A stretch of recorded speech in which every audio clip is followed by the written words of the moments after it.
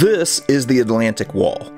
On March 23, 1942, Hitler issued Fuhrer Directive Number 40, which put into motion the construction of a series of defenses that stretched for 2,000 miles along the Atlantic coastline. The plan called for the construction of 15,000 concrete emplacements.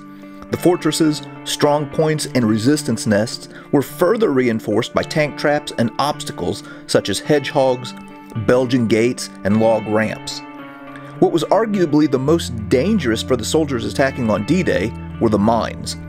In northern France alone, over 4 million mines had been laid under the leadership of General Rommel. If the Allies were to have any hope for success on D Day, these obstacles and mines would have to be cleared, and carrying out that dangerous task would go to the engineers. We're at the Easy Red sector of Omaha Beach. And with us, we have a one of a kind relic from one of these engineers who, on June 6, 1944, played an integral role in helping to crack Hitler's Atlantic Wall.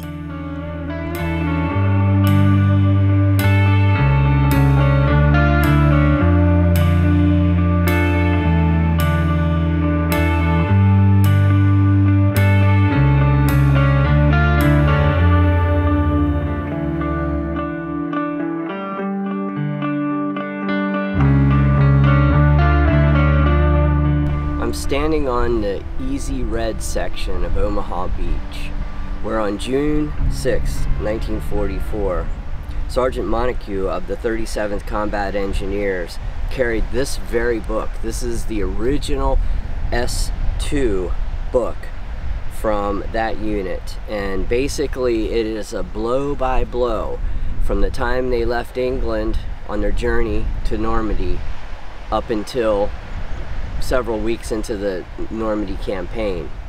It's it's got a, an amazing amount of information in it, and basically he writes a timeline of what the 37th Combat Engineers were doing, blow by blow, in Normandy on D-Day. So we wanted to take a, a, moment to read a section out of this D-Day diary. And this particular entry was made at 1220 on June 6, 1944. And it says, strong points to the left and right of Easy Red neutralized. Have been dug in on the dune line all morning. 88 fire continues on the beach. Dang. this whole thing is just an absolute gold mine of information about what happened on D-Day and in the days after. So this S2 journal is covered with plastic and I, and I assume Sergeant Montague did that to protect it because he knew he would be doing a beach landing. This third guy from the left is Sergeant Montague. I wanted to point him out in, in this photograph that we have. But some some of you might not know what the S what S2 means, in military term, and basically it's intelligence gathering.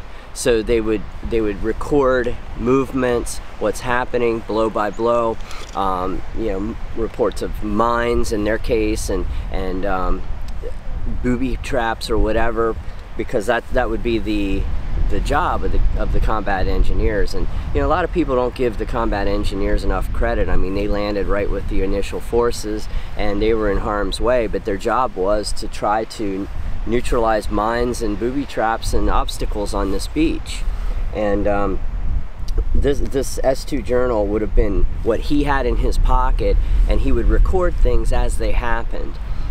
And then later on they would create an after action report and other documents that would go into the official record. But for whatever reason, at the at the end of the day, he ended up keeping this because all that information would have been transferred and gone to his officers. An S2 section would have both officers and enlisted men. And you know, small tasks like recording things like this on the front line would go to someone like a sergeant, you know, and then eventually it would go to an officer who would record that in after action reports.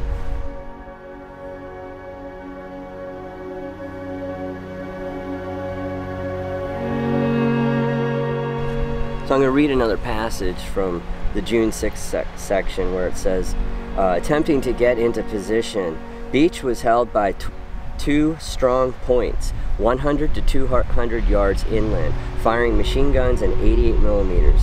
Beach was crowded with first in waves, all seeking cover at low bank. 88 millimeter shells were registering on SP and tanks killing large numbers of personnel. Captain Cox and Captain Harkabrod were killed by 88 fire. Colonel Smith worked up the beach towards E3 landing and was on easy red at E1 and was killed by a mortar shell and it goes on and it, it's it's just an incredible blow by blow here um, there, there's stuff about the pillboxes in here and um, more about mortar fire and securing the beach all right, one more quick entry that I want to read here. Uh, now, just because D-Day had come to an end on the evening of June 6th didn't mean that the danger was, you know, gone uh, here in this area. Look at this. Here's an entry from D plus 9, and this is at, at 1400, and it says two cows killed Easy Red Beach, wandering in minefield. So, the, the, the danger was not gone, uh, even over a week after uh, the, the landings. Uh, it wasn't safe here not only for the people, but, but for the animals either. My gosh.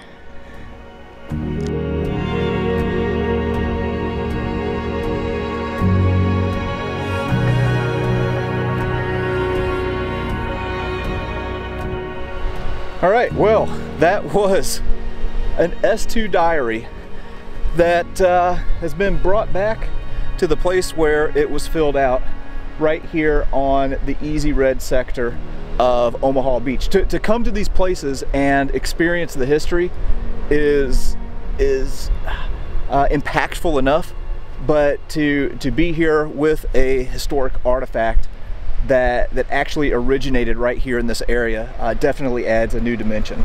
Very very cool.